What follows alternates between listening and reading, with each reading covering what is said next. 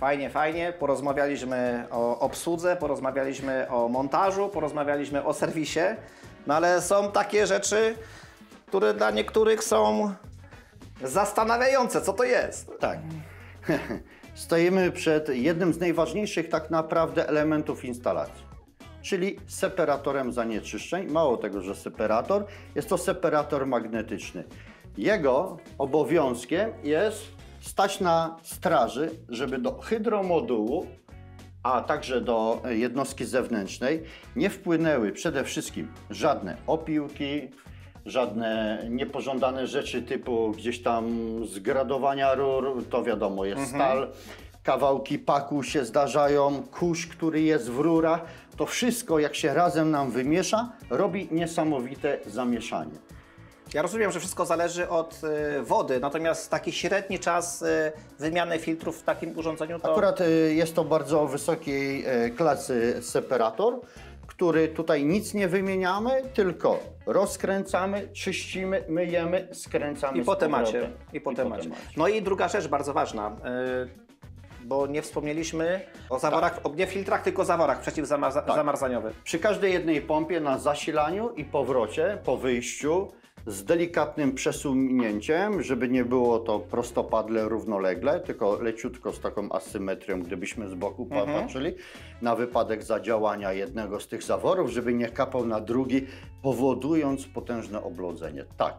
E, To jest jakby... y, Podstawa. y, Tak, bo to jakby nie jest wymysł producenta, tylko to jest bezpieczeństwo dla klienta. Tak, to jest bez, i to jest dokładnie. również bezpieczeństwo dla klienta, prawda, żeby nie Oczywiście, miał... że tak. y, Nawet e, nasz e, hydromoduł e, firmy Defro jest tak skonstruowany, że pomimo, że jest zasilany trzema fazami, jeżeli doszłoby do odcięcia jednej fazy, bo do odcięcia trzech faz to jest wręcz niemożliwe dziś w Polsce, nawet nasz e, energetyczny zakład e, to nam gwarantuje, że nie będzie dłużej niż 24 godzin, to wystarczy nam jedna faza, która wprowadzi pompę PWM do pracy tak zwanym systemie awaryjnym, że woda będzie krążyła nam nie po domu, tam się nie ma takiej potrzeby, tylko, Tylko między... między- jednostką zewnętrzną a wewnętrzną, potocznie mówiąc, żeby nie doszło do zamarznięcia. Ale zawsze montujemy jeszcze dodatkowo zawory antyzamarzeniowe. To jest w ogóle mega rozwiązanie i tak. Tak. naprawdę możemy powiedzieć z takim przekazem. Nie oszczędzajcie, montujcie te zawory. Tak jest. Kupując y, nowy samochód, obojętnie jakiego producenta, jedziemy na serwis, wymieniamy olej, filtry i tak dalej, kończy nam się okres gwarancyjny, nadal jedziemy do mechanika I nie nadal musimy wymieniamy koniecznie te- jechać do serwisu, ale nadal jedziemy do mechanika, żeby co te 10-15 tysięcy wymienić olej, tak samo w naszych pompach.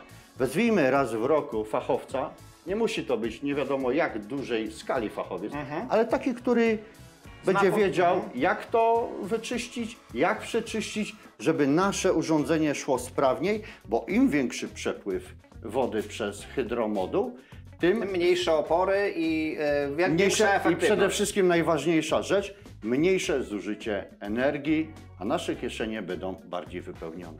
Czyli motto jest takie, dbajmy o urządzenia grzewcze w naszych domach, tak, Tak. samo jak o, so- o samochody, wtedy nam będą służyć lata. Dokładnie. Każde urządzenie jest odpalane przez autoryzowany serwis fabryczny lub jest je, y, także i w Polsce paru serwisantów zewnętrznych, którzy mają uprawnienia do uruchomienia takiego urządzenia. Każdy inwestor ma kontakt przy tym rozruchu. Proszę zapisać sobie jego numer Tak, zawsze na tak, czołówce, tak. kontaktować się. Oprócz tego mamy infolinię, na której Państwo dostaniecie te wszystkie wiadomości, jak zrobić, co zrobić, kiedy wezwać. Służymy pomocą zawsze.